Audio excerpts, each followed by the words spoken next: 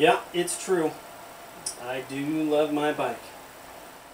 So if it were to ever get stolen, I'd be pretty bummed. Don't steal bikes.